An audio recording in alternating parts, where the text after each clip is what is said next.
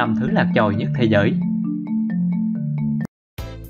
Xác ướp Hannus Taui vào năm 1992, một nhà khoa học người Đức đã tiến hành một nghiên cứu làm lật đổ toàn bộ kiến thức thuộc các lĩnh vực khoa học, từ sử học, khảo cổ học đến hóa học và thực vật học.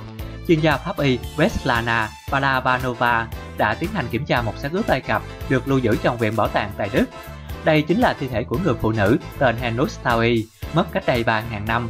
Thật đáng ngạc nhiên, xét nghiệm cho thấy trong xác của người phụ nữ này có chứa lượng lớn cocaine và nicotine. Tiến sĩ Balabanova cũng đã áp dụng phương pháp xét nghiệm tương tự để chứng tỏ rằng con người thời đó đã sử dụng thuốc, nhưng bà không hy vọng sẽ tìm được cocaine và nicotine trong xác ướp Ai Cập cổ đại. Hai loại thực vật này có xuất xứ từ châu Mỹ, không hề có ở những châu lục khác trước khi người ta tìm thấy châu Âu. Tiến sĩ Balabanova kiểm tra lần nữa, sau đó đưa những mẫu mới đến ba phòng thí nghiệm khác. Khi các kết quả đã được xác thực, và công bố nghiên cứu này với hai nhà khoa học khác phải chăng người Ai Cập cổ đại đã đến châu Mỹ vào 3.000 năm trước để thu thập những loài cây này? Điều này đồng nghĩa với việc chúng ta phải nhìn nhận lại các tài liệu lịch sử và sự thay đổi các truyền thống lâu đời như ngày lễ kỷ niệm Columbus tìm ra châu Mỹ. Những người ngoại quốc ở Trung Quốc cổ đại Trong các cuộc khai quật năm 1933 tại di chỉ Chu Khẩu Điểm, một hệ thống hang động gần Bắc Kinh Trung Quốc, tiến sĩ Wilderich đã phát hiện một số bộ xương và hộp sọ, trong đó một hộp sọ thuộc về người đàn ông châu Âu cổ đại, một cái khác của người phụ nữ trẻ với cái đầu hẹp điển hình của thổ dân châu Úc và hộp sọ thứ ba được xác nhận thuộc về một phụ nữ có những đặc điểm đặc trưng của người Inuit, tộc người thường sinh sống ở khu vực lạnh giá nhất của nước Nga. Niên đại của chúng được ước tính vào khoảng 30.000 năm tuổi. Một người đàn ông châu Âu, một cô gái vùng nhiệt đới và một người khác đến từ Bắc Cực cùng được phát hiện trên một sườn đồi ở Trung Quốc. Thế nhưng bằng cách nào mà họ đến được Trung Quốc từ khoảng 30.000 năm trước? Câu hỏi này đến nay vẫn còn là một bí ẩn. Bộ lạc Yuni và Nhật Bản Bộ lạc Yuni là một bộ lạc thổ dân sống ở khu vực bây giờ là New Mexico khoảng hơn 4.000 năm trước. Ngôn ngữ của họ không giống với bất kỳ ngôn ngữ địa phương nào.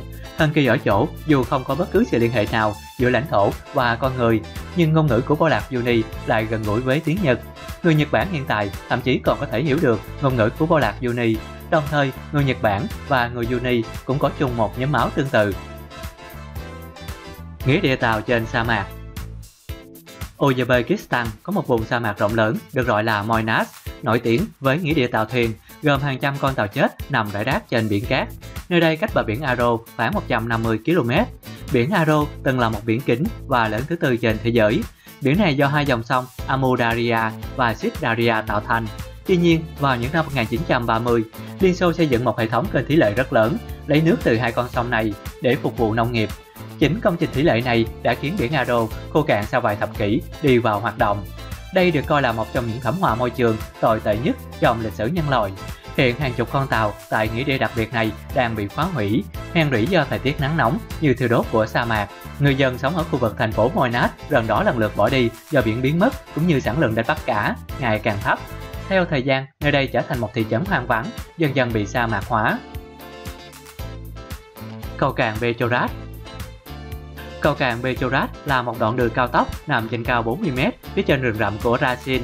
Nó đã được xây dựng vào những năm 1960 và 70 để trở thành một phần của đường cao tốc Rio Santos, nhưng đã bị dừng thi công sau khi thay đổi tuyến đường vào phút cuối vào năm 1976. Rừng đã nhanh chóng bao phủ, để lại con đường dài 300m trên đỏ chơi chọi giữa khu rừng. Trong khi dự án bị bỏ rơi và dường như lãng phí vào thời điểm đó, nhưng bây giờ nó là một địa điểm thu hút khách du lịch bạn có thể đến tham quan cầu cạn Petrograd thông qua một con đường nhỏ bằng cách đi xe máy, nhưng phần cuối của đoạn đường thì buộc bạn phải đi bộ. Các bạn vừa xem xong video 5 thứ lạc tròi nhất thế giới và bạn còn biết thứ nào lạc tròi nữa không? Hãy bình luận bên dưới nhé!